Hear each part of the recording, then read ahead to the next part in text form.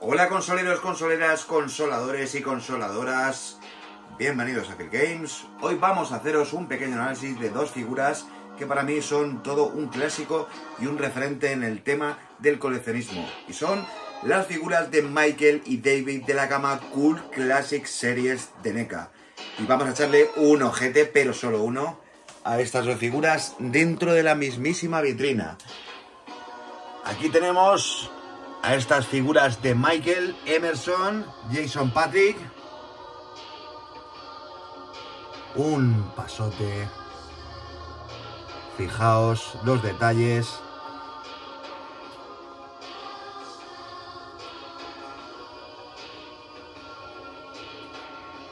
¿Cuáles son las características de estas figuras? Pues muy sencillo.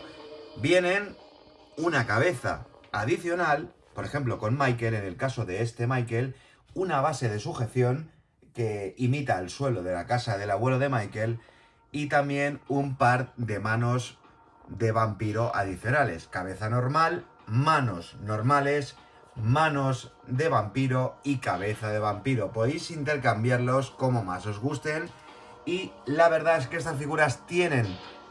La verdad es que son las figuras más únicas del mercado porque son las únicas originales que existen de este formato, además oficiales, de la película de 1987, perdón, de Jóvenes Ocultos. Una maravilla. Fijaos, también tienen, sabéis que el abuelo de Michael se dedicaba a hacer cabezas de animales y a disecar animales. Y ahí lo tenéis, todo un pasote de figuras. La, lo que es el tamaño aproximado, pues igual que el de los que, que, el de los Movie Maniacs, unos 15 centímetros, 17 centímetros, dependiendo de la figura en cuestión. Eh, ahora vamos a echarle un vistazo a nuestro amigo David. David tiene también lo mismo, tiene la cara de vampiro que hemos optado por eh, ponérsela, es la que viene por defecto, también podemos ponerle la normal, manos de vampiro, luego te viene, veis que tiene un pequeño tetón de enganche aquí para los pies, esta es la base expositora, pero le compramos, nos costó mucho encontrarlo y venía con ese pequeño inconveniente, por el resto está totalmente nuevo, esa es la cabeza eh, de Kiefer Sutherland, de David. Adicional, la vampírica me parece muchísimo más elaborada. Un pasote. La botella. La botella es uno de los elementos más complicados y más difíciles de encontrar cuando compras una figura de este, de este calado que esté completa. Y viene su botella con la sangre de David.